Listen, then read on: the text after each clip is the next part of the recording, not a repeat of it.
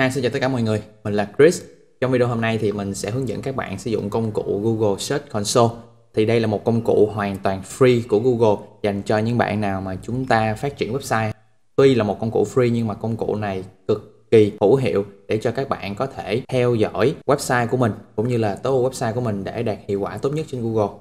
Tất cả những tính năng của công cụ này sẽ được mình giới thiệu các bạn một cách chi tiết trong video ha. Rồi, để truy cập công cụ thì đầu tiên các bạn sẽ lên Google, các bạn search cho mình là Google Search Console đây. Rồi, sau đó thì chúng ta sẽ chọn kết quả đầu tiên ha. Rồi, bây giờ các bạn sẽ chọn Start Now để chúng ta bắt đầu. Ở đây thì các bạn lưu ý, mỗi một tài khoản Gmail của các bạn á, thì các bạn sẽ sở hữu một tài khoản Google Search Console khác nhau. Cho nên nếu mà bạn muốn sử dụng Google Search Console cho tài khoản Gmail nào thì các bạn phải chọn đúng ha ví dụ như ở đây á, thì mình sẽ chuyển sang Gmail của mình là Chris này để mình add website mình vào Google Search Console ha. Rồi mình chuyển sang tài khoản này. Bước đầu tiên thì các bạn sẽ nhập địa chỉ website của bạn vào. Mình sẽ nhập vào ha. Rồi sau đó thì các bạn sẽ chọn continue để tiếp tục. Ở đây thì các bạn sẽ thấy là Google sẽ yêu cầu các bạn cần phải xác thực tên miền này. Thì để xác thực tên miền này Google yêu cầu các bạn phải thực hiện những thao tác sau thứ nhất là các bạn cần phải truy cập vào trong nơi mà bạn mua tên miền chẳng hạn như là bạn mua ở GoDaddy hay là bạn mua ở Namecheap hoặc là các nhà cung cấp ở Việt Nam. Thì các bạn truy cập vào chỗ mà bạn mua tên miền ha. Ở đây để mình đổi lại tên miền khác nhé. Mình sẽ nhập lại một tên miền của mình làm demo đó là mmodemo.xyz mmodemo.xyz rồi mình vẫn tiếp tục ha. Bây giờ ở bước này á, thì mình sẽ truy cập vào trong Namecheap là nơi mà mình mua tên miền này để mình thực hiện thao tác cho các bạn xem. Những bạn nào mà chúng ta mua tên miền ở những chỗ khác thì các bạn cũng làm tương tự thôi. Chúng ta sẽ vào khu vực quản lý DNS của tên miền chúng ta ha. Tiếp theo thì các bạn sẽ tạo cho mình một cái record. Rồi mình chọn add new record ha. Ở đây thì mình sẽ chọn là loại TST. Đó, đây TST ha. Rồi, tiếp theo cái phần host này thì các bạn sẽ để là a cộng tượng trưng cho là tên miền của chúng ta nè. Tiếp theo cái dãy này thì các bạn sẽ copy ha. Rồi sau đó thì các bạn sẽ dán ở đây. Sau đó thì các bạn sẽ tích chọn chúng ta lưu lại. Đó, thì các bạn sẽ tạo một cái record như thế này. Rồi sau đó thì các bạn sẽ chọn verify để chúng ta tiến hành xác thực tên miền. Đây thì các bạn sẽ thấy là mình đã xác thực tên miền mình thành công rồi ha. Bây giờ thì chúng ta sẽ vào trong phần là property, mình chọn là go to property. Đây chính là giao diện chính của Google Search Console khi mà các bạn vào trong Google Search Console rồi á, thì công việc đầu tiên các bạn cần làm cho website của mình á, là các bạn cần phải add sitemap thì các bạn sẽ vào trong phần là sơ đồ trang web ha. Rồi, ở đây thì các bạn sẽ thấy là chúng ta sẽ cần nhập URL của sitemap của website của chúng ta vào. Thì đối với bạn nào chưa biết cách tạo sitemap á, các bạn có thể làm theo hướng dẫn sau đây của mình. Thì mình sẽ demo ở trên nền tảng WordPress ha. Vì hầu hết các bạn thì cũng làm website từ WordPress nếu mà bạn làm website từ những nền tảng khác á, hoặc là bạn thuê lập trình viên code á, thì bạn hãy yêu cầu họ là làm cho bạn sitemap ha. Thì để có được sitemap ở trong website WordPress của chúng ta thì có rất là nhiều cách. Ví dụ như là các bạn có thể sử dụng plugin là Yoast SEO thì đó là một plugin về SEO mà bạn nào chúng ta làm WordPress các bạn cũng sẽ biết ha. Thì khi mà các bạn cài plugin đó vào á thì nó sẽ tự động tạo cho chúng ta một cái sitemap. Ở đây thì mình sẽ hướng dẫn các bạn cài một công cụ chuyên về sitemap luôn ha. Đó là Google XML Sitemap thì các bạn có thể chọn phần cài mới plugin ở đây. Rồi, sau đó thì mình sẽ search Google XML Sitemap. Rồi, các bạn sẽ chọn plugin này ha. Tác giả là Autolo rồi, mình sẽ chọn cài đặt plugin này. Rồi, sau đó thì mình sẽ chọn Activate để kích hoạt plugin lên. Sau khi kích hoạt xong rồi thì mình sẽ vào phần cài đặt ha. Mình sẽ chọn là XML Sitemap. Ở đây thì các bạn sẽ thấy là plugin đã tạo cho chúng ta một cái file sitemap rồi những cái cài đặt mặc định này thì các bạn cứ để vậy ha, chúng ta không có cần chỉnh thêm. Sau này nếu mà bạn nào quan tâm nhiều hơn thì bạn có thể vào đây các bạn xem và các bạn có thể tùy chỉnh. Còn hiện tại thì plugin đã tùy chỉnh hết cho chúng ta rồi. Việc của các bạn là các bạn chỉ cần lấy cái đường link sitemap này, này các bạn copy link ha. Rồi sau đó thì các bạn sẽ dán sang đây. Đó, các bạn dán cả đường link như thế này và các bạn chọn gửi. Thì các bạn sẽ nhận được thông báo là đã gửi sơ đồ trang web thành công có nghĩa là chúng ta đã submit sitemap lên trên Google Search Console. Ok rồi khi mà mình reload website lại nè ha thì các bạn sẽ thấy là trạng thái đã được chuyển sang thành công. Có nghĩa là chúng ta đã đưa sitemap của website của chúng ta lên trên Google Search Console thành công. Thì tính năng của sitemap á, đơn giản nó là một cái file mà giúp cho hệ thống của Google, những con bọ Google ha, để tìm những bài viết, những trang ở trên website của bạn mà cần index. Có nghĩa là sitemap nó sẽ là một cái công cụ mà giúp cho Google index những bài viết trên website của bạn vào kết quả tìm kiếm của Google ha. Các bạn chỉ cần hiểu đơn giản như vậy thôi. Và mình cũng lưu ý á, là sẽ có rất là nhiều công cụ lập sitemap khác nhau chứ không phải là riêng công cụ mình giới thiệu các bạn có thể sử dụng những công cụ khác hoặc là các bạn có thể tự tạo ra sitemap nếu mà bạn nào chúng ta biết cách làm còn ở đây thì mình chỉ demo một công cụ thôi đó là xong phần submit sitemap lên trên Google Search Console rồi ở phần tiếp theo này thì mình sẽ hướng dẫn các bạn cách để chúng ta tối ưu những thứ liên quan tới technical SEO tức là những cái về kỹ thuật ở trong SEO khi mà các bạn sử dụng Google Search Console ha, thì ở đây mình sẽ lấy một website khác để mình demo, bởi vì website kia thì nó mới được tạo thôi, cho nên nó chưa có data gì cả. Phần đầu tiên mà các bạn có thể tối ưu á, đó là các bạn sẽ vào cho mình phần là trạng thái lập chỉ mục. Thì đây là một cái báo cáo giúp cho các bạn biết được là Google hiện tại đang index những bài viết, những trang nào ở trên website của bạn và có những cái vấn đề nào mà dẫn tới việc là những bài viết, những trang của bạn không được index trên Google hay không thì bạn có thể xem hết ở đây ha. Mình ví dụ nha, ở đây thì các bạn sẽ thấy là đây là đường dẫn ha URL trên website của mình á, thì khi mình tích vào đây thì các bạn sẽ thấy là hệ thống sẽ hiện ra tổng cộng là 123 trang đã được gửi và lập chỉ mục, tức là Google đã nhận được những trang này ở trong sitemap của mình cũng như là lập chỉ mục những trang đó ở trên Google.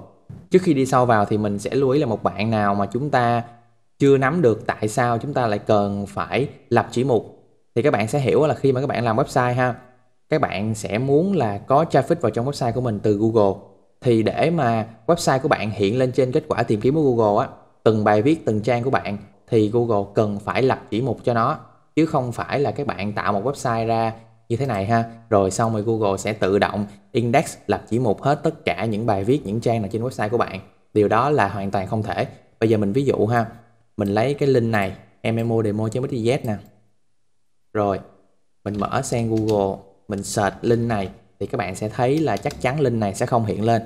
Bởi vì đây là một website mới và Google chưa có đưa website này vào trong Google để lập chỉ mục ha thì đó là phần quan trọng để các bạn có thể theo dõi. Bởi vì nhiều lúc bạn tạo ra một cái trang, bạn muốn Google index nó để bạn có thể có được traffic vào trong trang của mình.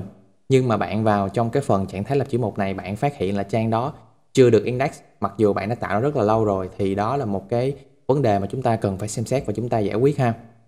Nếu mà Google không lập chỉ một trang web của bạn hoặc là một trang nào đó ở trên website của bạn á, có nghĩa là với Google trang đó hiện tại nó vẫn chưa tồn tại và việc chúng ta cần phải làm là chúng ta làm sao để cho Google biết nó tồn tại và lập chỉ mục cho nó?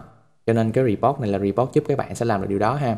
Đó thì ở đây các bạn sẽ thấy là mình có 152 URL hợp lệ thì khi mà mình click vào thì các bạn sẽ thấy là nó sẽ hiện lên tất cả những bài viết mà hiện tại đang được Google Index ở trên website của mình.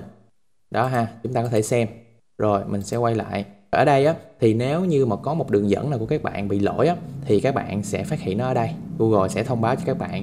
Và khi mà các bạn click vào thì Google cũng sẽ thông báo chi tiết á, là đường dẫn đó đang bị lỗi ở vấn đề nào. Và bạn cần phải tìm ra nguyên nhân cũng như là tìm ra cách khắc phục để cho Google có thể lập chỉ một đường dẫn đó lại bình thường ha.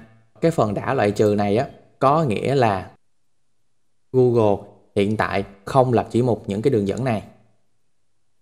Thì các bạn sẽ thấy là những phần ở trong phần loại trừ á, nó sẽ thường không phải là những cái trang chính của chúng ta mà có rất là nhiều những trang khác nhau. Bởi vì trong quá trình các bạn làm website nó sẽ sinh ra rất nhiều những trang khác nhau. Cho nên trong đây thường thường là sẽ không phải là những trang chính của mình ha. Thì nó sẽ nằm ở trong phần là đã loại trừ. Còn nếu như mà bạn thấy một đường dẫn nào của bạn mà nó vẫn nằm trong phần đã loại trừ nhưng mà bạn biết là đây là đường dẫn mà bạn muốn Google lập chỉ mục á thì chúng ta cũng cần phải xem lại, xem lỗi nằm ở đâu để khiến cho Google loại trừ cái đường dẫn đó và không lập chỉ mục nó, và bạn sẽ fix nó lại ha.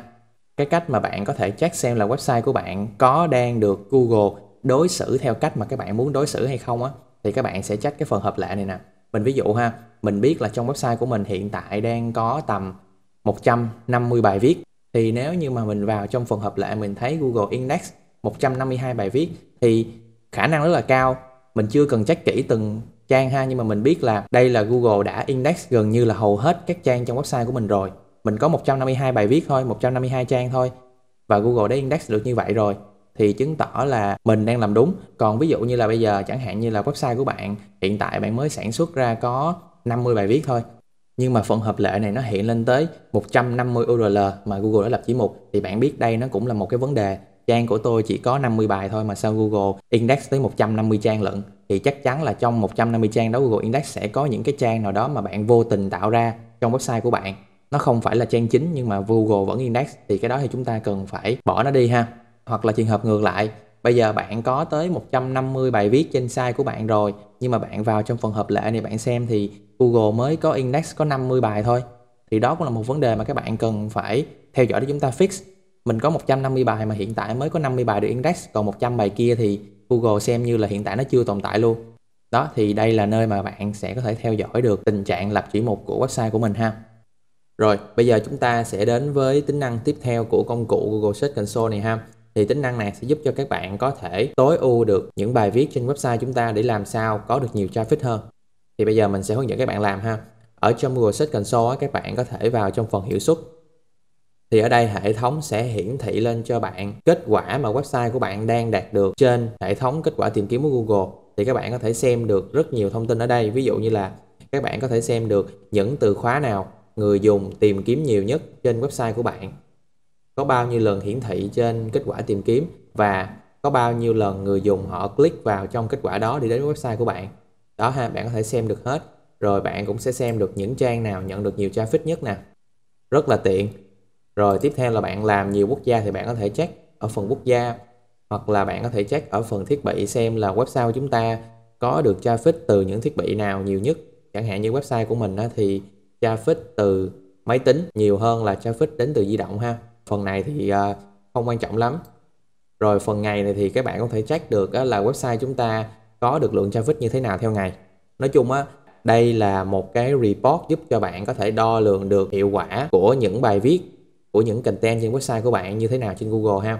Thì bây giờ các bạn sử dụng một cách sau đây để chúng ta có thể tìm ra được những trang nào, những bài viết nào trên website chúng ta đang có được traffic nhưng mà nó vẫn chưa đủ tốt và bạn có thể tối ưu được nó thêm để có thể tăng được thêm traffic. Thì bây giờ mình sẽ hướng dẫn các bạn làm ha. Đầu tiên thì các bạn sẽ chọn phần hiệu suất này. Rồi ở đây thì các bạn sẽ chọn cho mình cái phần là filter. Chúng ta chọn cái phần lọc này ha bây giờ bạn sẽ chọn phần lọc vị trí cho mình. Chúng ta sẽ lọc ra những từ khóa nào mà làm cho website chúng ta đang đứng ở những vị trí từ thứ năm trở đi. Các bạn sẽ chọn phần lớn hơn. Rồi, vị trí thì bạn chọn số 5 tức là chúng ta sẽ xem danh sách những từ khóa nào mà chúng ta đang ranking trên Google nhưng mà chúng ta không ở trong top 5 mà là chúng ta từ top 5 trở đi ha. Rồi, mình chọn xong. Thì các bạn sẽ thấy đây là danh sách những từ khóa mà mình có được sau cái bộ lọc của mình. Tiếp theo á thì các bạn sẽ lọc thêm một lớp nữa, đó là cái CTR tức là cái tỷ lệ nhấp chuột vào kết quả tìm kiếm của mình. Sau khi mà người dùng họ search những từ khóa này là bao nhiêu? Chẳng hạn như ở đây bạn thấy ha, số lần hiển thị của từ khóa là phí bán hàng trên Shopee này là 2.113 lần hiển thị. Và trong số như đây lần hiển thị thì có 187 lượt nhấp.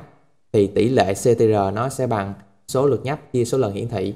Thì bây giờ mình có thể lọc mình chọn là nhỏ hơn. Mình xem xem là những từ khóa nào mà tỷ lệ nhấp chuột nó đang nhỏ. Tức là mặc dù có lượt hiển thị, nhưng mà tiêu đề của mình chưa đủ cuốn hút, mô tả của mình chưa đủ cuốn hút khiến cho người ta không nhấp vào. Thì ở đây mình sẽ chọn một con số tượng trưng là tầm 4% đi. Tức là hệ thống sẽ lọc ra những từ khóa nào mà CTR nó hiện đang thấp hơn 4% 4% có nghĩa là chúng ta có 100 lượt hiển thị nhưng mà chưa có tới 4 lượt click vào trong website chúng ta, ha rồi mình chọn xong. Thì đây các bạn sẽ thấy là cuối cùng mình sẽ filter được những từ khóa này. Với những từ khóa này thì bạn làm gì tiếp theo? Bạn có thể nhấp vào chọn từng từ khóa. Ví dụ như là mình chọn vào từ khóa Shopee này ha. Mình chọn vào. Rồi sau đó thì mình sẽ sang cái phần trang. Thì ở đây hệ thống sẽ hiển thị là cái trang mà đang ranking cho từ khóa mà chúng ta chọn là cái trang Shopee này. Đây, là bài viết này ha. Bây giờ mình có thể filter được á là mình sẽ lấy URL của bài viết này. Mình sẽ lấy phần phía sau thôi. Rồi sau đó thì mình lên chỗ filter này. Mình chọn là phần trang. Rồi ở đây URL chứa thì mình sẽ để bay vào. Rồi mình ấn áp dụng. Bây giờ mình sẽ bỏ đi cái filter là truy vấn bay này ha. Thì trên đây các bạn sẽ thấy là mình đang filter theo trang bài viết này. Bây giờ mình sẽ sang phần truy vấn. Thì đây là kết quả mà mình nhận được đó chính là tất cả các từ khóa mà trang này của mình đang ranking trên Google Search Console. Thì đây các bạn có thể thấy nè tổng số lượt nhấp là 164 lượt nhưng mà tổng số lượt hiển thị là tới 6.340 lượt tức là CTR nó chỉ ở mức là 2,6% thôi. Vì vậy mình có thể tối ưu thêm cho trang này để mình nâng số CTR này lên. Mà khi mình nâng cái tỷ lệ CTR này lên thì nó đồng nghĩa với việc là traffic vào website của mình sẽ nhiều hơn. Bây giờ mình sẽ lấy thử từ khóa là Shopbay là gì ha? Mình sang đây mình search. Thì bài viết là Shopbay giải pháp dropshipping thế hệ mới. Thì đây là một cái tiêu đề mà mình cảm thấy là chưa đủ cuốn hút để cho người dùng họ có thể click vào trong bài viết của mình. Thì mình có thể đổi lại, chẳng hạn như là mình sẽ viết là Shopbay gạch kiếm tiền online không cần vốn với hình thức dropshipping này. Chẳng hạn như vậy, mình tạo ra một cái gì đó nó có điểm nhấn với mục đích là làm cho người dùng họ được thu hút và họ sẽ click vào trong liên kết này của mình ha. Thì cái phần viết tiêu đề như thế nào để cuốn hút á, các bạn có thể lên trên Google, các bạn search cách mà viết thẻ tiêu đề cho bài viết để gia tăng lượt click ha. Còn ở đây thì mình sẽ gợi ý cho mọi người. Thì đó là cách mà các bạn có thể tìm ra được những từ khóa đang có traffic cho website của chúng ta, cụ thể là đang có traffic cho một bài viết bất kỳ. Rồi sau đó bạn sẽ tìm ra được cái trang đó rồi chúng ta sẽ suy ngược lại. Bây giờ trang đó nó sẽ được ranking những từ khóa nào và chúng ta sẽ chọn để chúng ta tối ưu cho website chúng ta. Và chúng ta sẽ chọn để chúng ta tối ưu cho bài viết đó để nhận được nhiều traffic hơn. Và sau khi mà các bạn tối ưu rồi á, thì các bạn có thể đợi tầm vài tuần tầm một hai tuần gì đấy để số liệu của Google Search Console cập nhật mới thì các bạn có thể so sánh lại kết quả trước khi mà bạn tối ưu với lại kết quả sau khi bạn tối ưu rồi thì nó sẽ khác nhau như thế nào thì cái phần so sánh này các bạn cũng có thể làm được ha, bằng cách là chúng ta sẽ chọn vào cái phần thời gian nè. Các bạn sẽ chọn phần compare là so sánh. Rồi ở đây thì bạn có thể tùy chỉnh hai khoảng thời gian. Đây, mình ví dụ ha. Bây giờ mình sẽ lấy mốc thời gian là từ ngày 15 tháng 11 cho tới ngày 25 tháng 11 so với khoảng thời gian trước đó là từ ngày 4 tháng 11 tới ngày 14 tháng 11 đó, hai khoảng thời gian cách nhau 10 ngày. Chọn áp dụng thì đây các bạn sẽ thấy là chúng ta sẽ có được cái số liệu so sánh. Chẳng hạn như là sau khi mà mình đã tối ưu rồi mình thấy là kết quả từ ngày 15 tới ngày 25 CTR nó chỉ là 2,1% so với khoảng thời gian trước đó là 2,3% chứng tỏ là mình đang tối ưu bị sai rồi nó bị giảm. Còn nếu như mà bạn chắc bạn thấy là khoảng thời gian sau CTR nó cao hơn chứng tỏ là bạn đã tối ưu có hiệu quả ha. Đó là cách mà chúng ta có thể sử dụng việc so sánh này để chúng ta xem kết quả tiếp theo thì bạn có thể sử dụng công cụ này để chúng ta xem được á, là hiện tại đang có những keyword nào. Chúng ta nhận được nhiều impression nhưng mà đang nhận được ít lượt click cũng như là vị trí của nó đang còn thấp mà chúng ta có thể tối ưu được. Thì các bạn có thể uh, làm như sau ha. Bây giờ mình sẽ xóa mấy này đi. Bộ lọc thì mình sẽ chọn là trong 28 ngày qua mình chọn áp dụng. Rồi mình sang truy vấn ha. Ở đây thì vị trí trung bình mình sẽ chọn luôn. Bây giờ mình sẽ filter mình sẽ chọn ra những từ khóa nào mà vị trí của nó đang lớn hơn. 5 mình chọn xong. Thì đây các bạn sẽ thấy hệ thống nó sẽ hiện ra danh sách một loạt những từ khóa mà vị trí của nó đang từ 5 trở xuống ha. Thì các bạn sẽ thấy là điểm chung những từ khóa này á, đó là nó có rất là nhiều impression. Ví dụ như là bán hàng trên Shopee có tính phí không nè. Nó có tới 250 impression nhưng mà nó chỉ có 10 lượt nhấp thôi. Thì việc của mình sẽ làm á, đó là mình sẽ xem xem là từ khóa này đang ở bài nào? Mình nhấp vào, mình chọn trang ha. Thì các bạn sẽ thấy là từ khóa này đang nằm ở bài phí bán hàng Shopee. Rồi, công việc của mình là như thế nào? Mình sẽ check xem là cái nội dung này nè, cái câu hỏi là bán hàng trên Shopee có tốn phí không? Mình đã có đề cập tới vấn đề này trong bài viết của mình chưa? Nếu mà chưa thì mình cần phải đề cập tới và mình có kèm theo từ khóa này để cho bài viết của mình nó đầy đủ thông tin về cái phần này từ đó thì mình có thể nhận được thêm nhiều traffic hơn. Các bạn có thể áp dụng cách này để làm hết tất cả những từ khóa ở đây ha. Đó, chẳng hạn như là bạn check xem là từ khóa là form đăng ký Shopee Leaf thì mình thấy là từ khóa này cũng có lần hiển thị nè, tám mấy lần nhưng mà chỉ có 5 lần click thôi. Thì mình nhấp vào, rồi mình sang phần trang, mình xem xem là từ khóa này nó đang thuộc bài nào ha. Thì nó đang thuộc bài này Shopee Leaf. thì ở đây mình cũng sẽ check xem là bài viết này của mình á mình đã có đề cập tới vấn đề về form đăng ký Shopee Live chưa? Nếu mà chưa thì chắc chắn mình phải thêm vào ha. Thì các bạn cứ làm như vậy để chúng ta đảm bảo được á, là bài viết chúng ta cover được hết những cái topic mà những topic đó đang mang lại cho chúng ta những lần hiển thị như thế này. Nhưng mà còn ít click thì bạn có thể làm ha. Đó là cách mà các bạn có thể sử dụng công cụ Google Search Console để tối ưu bài viết của chúng ta và nâng được lượng traffic vào trong bài viết ha. Rồi bây giờ thì mình sẽ giới thiệu thêm cho các bạn một số những cái công cụ hữu ích khác ở trong Google Search Console. Các bạn có thể chọn cho mình phần liên kết. Rồi, ở đây liên kết thì các bạn sẽ có thể xem được. Thứ nhất là chúng ta sẽ xem được cái tab là các trang được liên kết hàng đầu. Bây giờ mình vào phần thêm. Chẳng hạn như là đây là hệ thống sẽ hiển thị lên tất cả những trang ở trong website của bạn mà nhận được nhiều backlink nhất ví dụ như mình nhấp vào trong trang này thì đây chính là trang chủ của web của mình ha mình nhấp vào. Thì hệ thống nó sẽ hiện ra tất cả những cái backlink trở về trong trang này. Đó tương tự như vậy thì bạn có thể check được những bài khác ha. Xem là những bài này thì đang có những backlink nào bên ngoài trở về. Tiếp theo thì bạn có thể check được những trang web liên kết hàng đầu tức là chúng ta sẽ check được xem á, là có tổng cộng bao nhiêu website ở bên ngoài trở về trong web của chúng ta thì một website có thể trở về trong web của bạn nhiều backlink, nhưng mà ở đây thì nó sẽ tính theo đơn vị là website thôi, không tính backlink. Bên đây thì các bạn có thể xem được á, là những trang nào ở trong website của bạn mà nhận được internal linking, tức là nhận được phần link từ những trang khác trong web của bạn tới nhiều nhất. Ví dụ như là trong site của mình thì mình thấy là trang là MMO nó nhận được liên kết nội bộ nhiều nhất từ những trang này. Có nghĩa là những trang này là những trang mà có trở link về trang này thì đó là cách mà bạn xem được phần liên kết nội bộ trong Google Search Console. Thế thì cái này nó có rất là nhiều ứng dụng khác nhau. Việc áp dụng thì tùy mỗi người thôi. Thì mình ở đây mình sẽ chia sẻ với bạn một cái tip bạn có thể ứng dụng được. Đó là bạn có thể check ở cái phần là các trang được liên kết hàng đầu. Thì chúng ta sẽ ra được những trang nào mà chúng ta có lượng backlink nhiều nhất vào trong trang đó.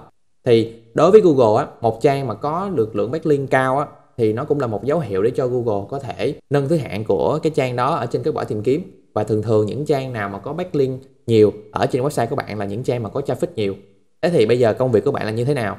Bạn sẽ check những cái trang này. Nó đã có sẵn traffic rồi nó đã có backlink mà nó đã mạnh rồi thì bạn có thể vào những trang này. Công việc của bạn á, là bạn sẽ internal linking tức là bạn sẽ chỏ một link đến một bài viết khác ở trong website của bạn mà bạn đang muốn ranking bài viết đó, thì nó sẽ có một cái thuật ngữ nó gọi là link choose. Đây, thuật ngữ này ha, bạn nào quan tâm nhiều về SEO thì bạn có thể tìm hiểu thuật ngữ về link choose này. Tức là khi mà chúng ta làm việc này á, có nghĩa là chúng ta đã chuyển cái link choose là chuyển một cái sức mạnh từ cái trang gốc của chúng ta đã có nhiều backlink, đã có traffic sang một cái trang khác trong website của chúng ta mà chúng ta muốn ranking. Thì đó là một tip mà rất là nhiều người sử dụng và nó có hiệu quả ha thì bạn có thể tận dụng tip này. Đó là phần liên kết. Các bạn có thể check ở cái phần là bảo mật và thao tác thủ công. Thì khi mà các bạn nhấp vào cái phần thao tác thủ công á, ở đây á, nếu như mà Google phát hiện website của bạn đang có một cái dấu hiệu nghiêm trọng nào đó và Google cảnh báo bạn hay là phạt bạn á, thì bạn có thể check ở trong đây. Nếu mà bạn check ở trong đây và hệ thống báo là không thấy phát hiện nào, tức là website của bạn vẫn đang bình thường ha. Tương tự như vậy với lại phần vấn đề bảo mật. Nếu mà Google phát hiện ra những cái vấn đề nào đó liên quan tới việc bảo mật website của bạn thì cũng sẽ có thông báo trong đây. Rồi, quay lại cái phần mà trạng thái lập chỉ mục này á. Chẳng hạn như là bạn có một bài viết mới trong website của bạn và bạn muốn là Google index bài viết đó càng sớm càng tốt, thì cách mà bạn có thể kiểm tra được xem là Google đã index bài viết của bạn chưa thì bạn sẽ copy cả cái đường dẫn bài viết này. Đó, ví dụ mình copy ha. Xong mình vào cái phần trạng thái lập chỉ mục nè. Rồi mình dán vào. Rồi mình ấn enter. Thì Google sẽ bắt đầu truy xuất dữ liệu, xem là đã index bài viết chúng ta chưa. Và nếu như bạn nhận được thông báo như thế này URL nằm trên Google, trạng thái lập chỉ mục, đã được gửi vào lập chỉ mục, tức là bài viết của chúng ta đã được index ở trên Google rồi. Đó là cách thứ nhất. Còn cách thứ hai á, thì bạn có thể làm như sau. Đó là bạn có thể copy cả cái link bài viết này. Rồi sau đó thì bạn sang Google. Bạn dán cả cái link này vào trong kết quả tìm kiếm luôn. Rồi bạn enter. Nếu như mà kết quả trả về bài viết của bạn, tức là bài viết của bạn đã được index trên Google còn nếu như bài viết của bạn nó không được trả về ở phần kết quả này, tức là nó chưa được index, đó là cách mà chúng ta kiểm tra nhanh ha rồi như vậy là mình đã hướng dẫn xong cho mọi người những thao tác mà các bạn cần nắm được khi mà các bạn sử dụng công cụ Google Search Console này.